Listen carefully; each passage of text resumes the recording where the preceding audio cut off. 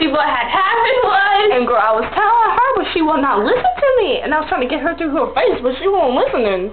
You heard what I said. I heard what you said. She, she was like, she was like, you wasn't heard what I said. No, she was not. She was all like, see what had happened was, and you were like, see what had happened was, in my point of view, is that you were all about him.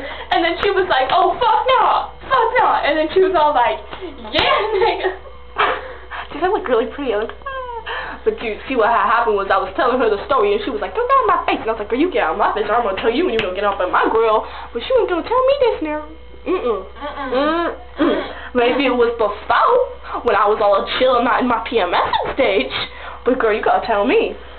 I, I'm gonna tell you what had happened was I was like, can I have your number, baby? And Give she me your was digits. like, and then she was like, oh, you don't have a boyfriend. You don't have a boyfriend. And I was no. like, yeah. And then mm. she was mm. like, she was oh, like, can I have your number? I was like, I don't swing that way. I don't swing that way girls some days. You know what? This is why I say I got more best friends than boys and girls because they listen more for show for breeze in your face.